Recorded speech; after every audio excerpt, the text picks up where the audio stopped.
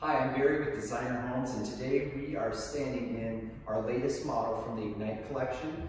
This floor plan is called the Kirkwood. It's a three bedroom, two bath, two story located at 1030 Albert Drive in West Fargo in the Wilds 11th edition.